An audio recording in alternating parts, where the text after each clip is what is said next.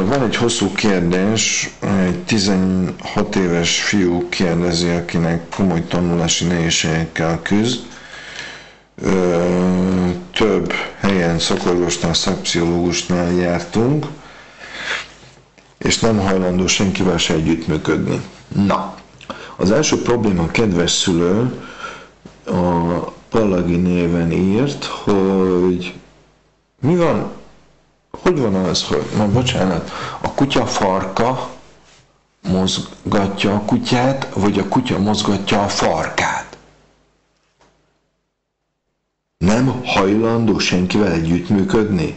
Hát akkor, édes fiam, 16 éves létedre hat, hatodik osztályba jársz, semmi akadálya.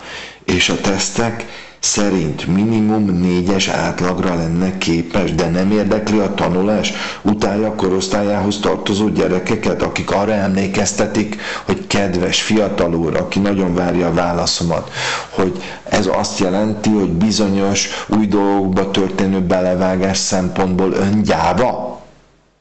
Tehát egy gyáva pasi ül előttem valahol a virtuális térben? illetve virtuálisan, de valóban, valójában, gyáván.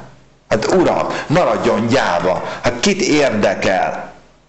Ja, a gyáva pasi, férfi című könyvben ez, ez, ez szerepel, ezek a PP pasik. Majd esetleg nézem meg, mi az a PP pasi. Nem szeretnék vulgáris lenni. Na, nem érdekli a tanulás, stb. Helyzetet csak rontja, hogy a férj az jó házasság, akivel a hölgy az jó vagy az anya jó él sok-sok éve, baleset következtében elveszítette a járóképességét, szék és az anyagilag is mélyen érintette a családot. A gyerekek, főképp ő, a nagyobbik, igencsak el volt kapatva.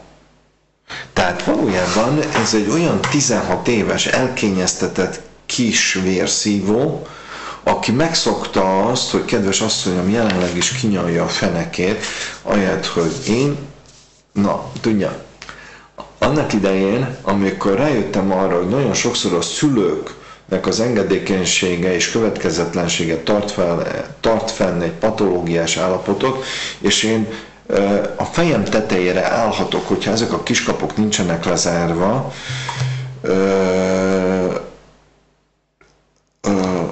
és nem fog történni semmi sem, mert a kölyök az rám mosolyog, cinikusan, és kisétál önnél. Mert hogy nyitva hagyja ezt a kiskaput. Mert tudja mit? Az iskolát az be lehet fejezni 18 év után is, és azt mondanám, fia, négyes átlagra lennél képes? És most jelenleg úgy mutatod meg az édesapád iránti szeretetedet, hogy szarsz az ő fejére is? És ahelyett, hogy megmutatnád azt, hogy most, amikor a család egzisztenciálisan nehéz, nehéz helyzetben van, ahelyett, hogy mindent megtennél azért, hogy tanuljál, mert az a te munkád. És ön ezt asszonyom hagyja.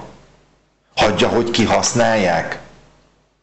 Hogyha belegondol, fogalmazza azt is meg magának, hogy ezt a gyereket, ezt a 16 éves fiú gyereket miből érzi, azon kívül, hogy ön megszülte, hogy ez a gyerek az ön fia. Írja le.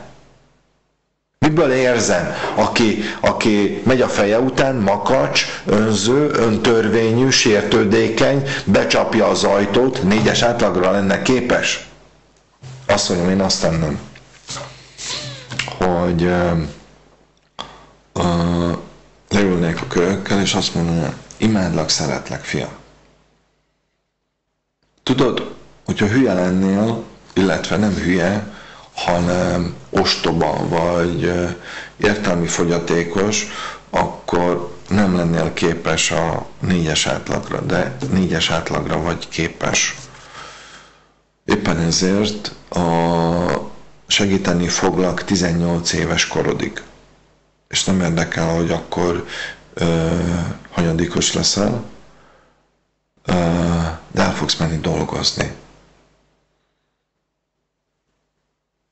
Addig segítelek. Utána, hogyha hét általánosod lesz, hét általánosod lesz. Kit érdekel?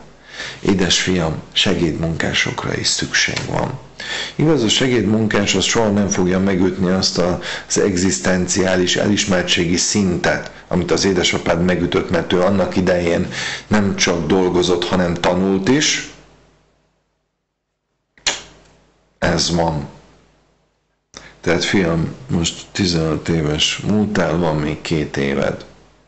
De betöltött két év múlva el fogsz menni dolgozni, és én nem segítem azt, hogy te tébláboljál.